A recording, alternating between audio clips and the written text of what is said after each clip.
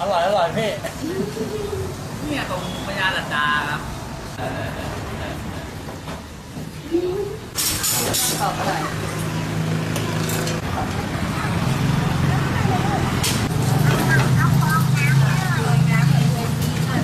เออฟอร์ดฝากขอบคุณ เจ้าของไงบ้างครับเนี่ย เออ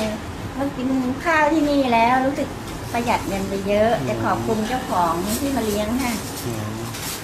หายากนะกินฟรีนะจริงๆหายากครับอร่อยด้วยอืมประหยัดให้ตักเองตักเองด้วยเหรอครับเนี่ยให้ตักเองด้วย อ๋อค่ะค่ะอ๋อมีมีข้าวต้มด้วยเหรอครับอ๋ออันนี้ไม่ใช่ข้าวเหนียวเปียกอืมข้าวเหนียวเปียกใหญ่ใช่เลยเป็นสีนิดหน่อยนิดหน่อยอร่อยค่ะ ขอนั่งปันหน่อย ขายมาขายความคิดก็อร่อย แล้วต้องเกิดมา ราคาเป็นไงคะ คือโครงการนี้เราเราทำเพื่ออะไรครับเนี่ยอ๋อ ก็ก็อยากจะทำแบบว่าช่วงนี้เศรษฐกิจไม่ดีอะเนาะคนก็ทำไม่ไม่มีรายได้อะไรกันแหละแล้วก็เลยคิดว่า เออหลานเนี่ยค่ะเขาก็ทำให้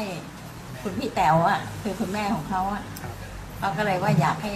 เออเขาไปทำบุญทำอะไรที่ไหนมาเยอะแยะเนาะ ครับ เขาก็เลยอยากจะเปิดเลี้ยงทำอาหารเลี้ยงให้ ให้คนได้ทานครับทานฟรีอะค่ะ แต่ก็ช่วยล้างล้างจานเองอะไรเอง อาหารก็ให้ตักเองนะคะ แต่วันนี้มีเมนูอะไรบ้างครับเนี่ยวันนี้มีกะเพราไก่ค่ะ แล้วก็ไข่เจียว แล้วก็ปลาแดดเดียวค่ะ เห็นแล้วมีของหวานก็มีเอ่อข้าวเหนียวเปียกลำไยค่ะ แล้วเราแจกวันไหนถึงวันไหนบ้างครับ แจกวันจันทร์ถึงวันศุกร์ค่ะ แจกวันจันทร์ถึงวันศุกร์ค่ะคือมาเอ่อกินเราไม่ต้อง ไม่ต้องเสียเงินไม่ต้องอะไรหรอกค่ะให้มาทานเลย คือเราทำบุญกันเอานะทำบุญกันร่วมกันอะไรอย่างเงี้ยค่ะอาหารก็ก็พยายามทำให้เขาทานดีๆอะหมุนเวียนกันอย่างเงี้หมุนเวียยนค่ะ อะไรบ้างเมื่อวานก็เป็นน้ำพริกมะขาม ผัดกับหมูสับค่ะ